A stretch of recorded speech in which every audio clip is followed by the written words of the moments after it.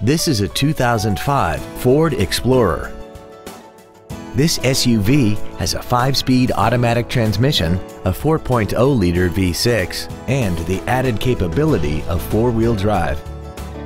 Features include traction control and stability control systems, cruise control, a rear window defroster, a passenger side airbag, a trailer hitch receiver, a chrome grille, front fog lights, an anti-lock braking system, speed-sensitive wipers, and air conditioning.